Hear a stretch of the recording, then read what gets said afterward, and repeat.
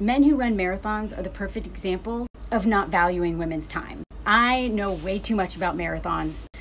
I've never dated or been married to someone in a marathon, but some of my friends have. And let me tell you, the amount of time that those men spend running, it's not just the marathon, it's the training for the marathon. Now, if you're not married and you don't have a family, you do you, bro.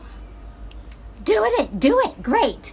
But the married men, and especially the fathers who do this crap, I would say they're at the top in terms of men who exploit the women that they're with. Not all marathon runners, okay? If this doesn't apply to you, no need to tell me. But I swear, okay, so you have the marathon itself, but before the marathon, you have hours of running a day, and everything revolves around that stupid run. Everything. And if they can't go running, they're like addicts who can't get their fix. And guess what? Running is really inconvenient a lot of times. And so you literally have their wives revolving their whole day around this man's run because some of these runs are like a few hours a day. So so you have all this buildup to the race, which if you have small children especially that means childcare, time away from the family, blah blah blah. Just read the thread of this comment.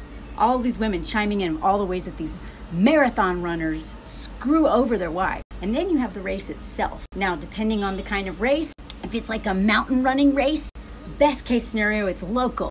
Worst case scenario, it's on another continent. And now that's the family vacation. The, wherever this triathlon or marathon or wherever it's located, the whole family has to go there now. And that's their vacation. Do you think they chose that place? No. Everything is about the freaking marathon. So then, do you know how much I had? I supported a marathon this summer. Do you? I saw the logistical genius. It looked like that scene out of A Beautiful Life with the, you know, the crazy scene.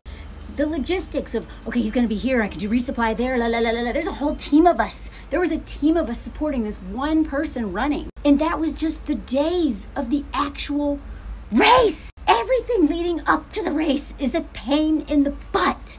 So let, let's just say it's running. Okay, well, running is free, right? All of the gear running isn't. You gotta have the nice shoes. You have to have the perfect things. You have to have all these weird bottles and stuff. You have to have the, I don't even know. But if they're in a triathlon or if it's like a bike thing, like these comments, these bikes are like 2,000 bucks a piece. And that's the crappiest one.